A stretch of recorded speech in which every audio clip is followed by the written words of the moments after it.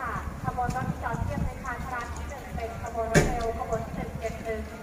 รับส่งผู้โดยสารจากสถานีกรุงเทพปลายทางสถานีชุมทางกรุงสงค่ะ